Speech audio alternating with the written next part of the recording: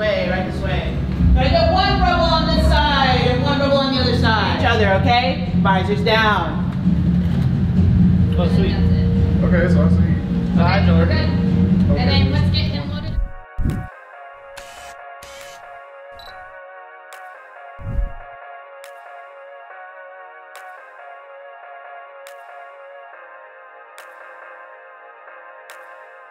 Hey guys, so the Void over at Cinemark, it's a new ultra reality experience.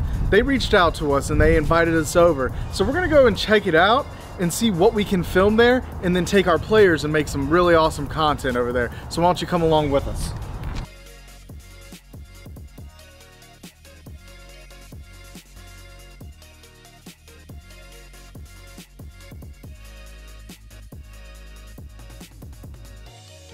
Alrighty, let's go ahead and slide right into these units right here on the hook. Up there to sit down. Let's go ahead and pull those down and back like we're skiing down the mountain hog. Close around your front, give yourself a nice big Wookiee hog. Alright, around here, there we go, thank you. Stand tall, soldier. Excellent. Here you are.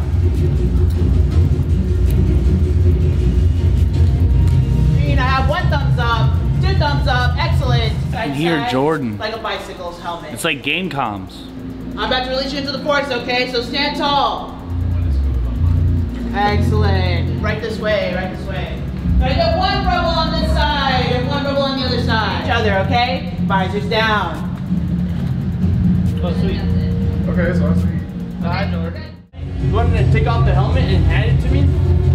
It went great. It was an absolutely enjoyable experience. Can't wait to take the players through it. It's gonna be a lot of fun. And also as a Star Wars fan, there's just like so many different levels of like, first of all, going to like Mustafar is just like dope. Like you show up and they're like, why are we at Mustafar? It's like, I know why. When when it's hot, you feel the hot.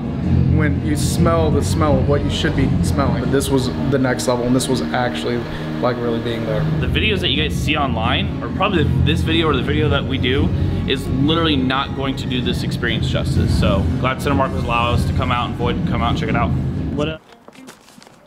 This is uh, about 100 pieces of HyperX gear for the players and a few of the staff here. So we're pretty stoked about that. That's a whole lot of RGB. Wait, like Christmas! There could be a lady in there for all we know. If this is your Christmas present, why am I unwrapping it? Load them up, boys. Bring him inside. I don't even know where we're gonna put him. His dad was uh, using a chainsaw to cut. Um,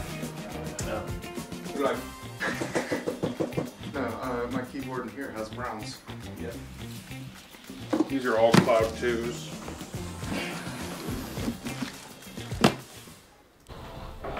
Get a Wi-Fi router, run it into a Wi-Fi, and let's all connect to the Wi-Fi. Optical. Uh, the internet went out, but we're fixing it.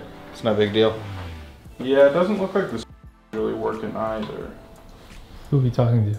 We're talking to Andrew, who, amongst being like the content big guy, he is also Oh, the our internet's director of technology. Apartments as well. So he basically does all the things with our technology and has done all the networking around here.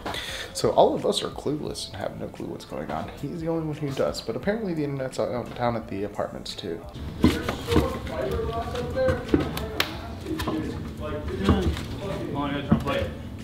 There's so much storage room up there. I don't know why we don't use it. Because there's fiberglass up there. Just saying, when the internet goes off at an esports office, just things are gonna happen. People are gonna wander into attics. Alright, well. Hard life to be in esports. Esports without internet is rough.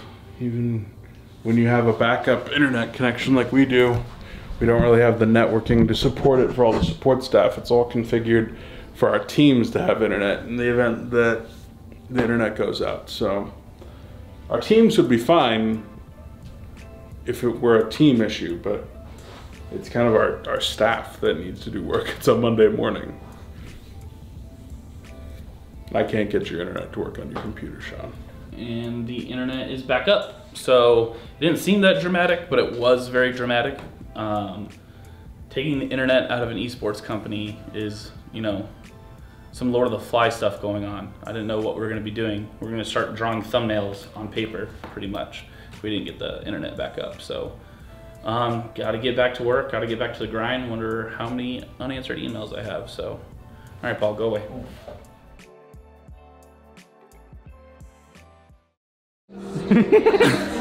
How's it going, guys? It's Logan Paul back at you with another vlog. Um, Hey guys, we release new content every day, so if you like this one, make sure to hit subscribe and get alerted for tomorrow's video.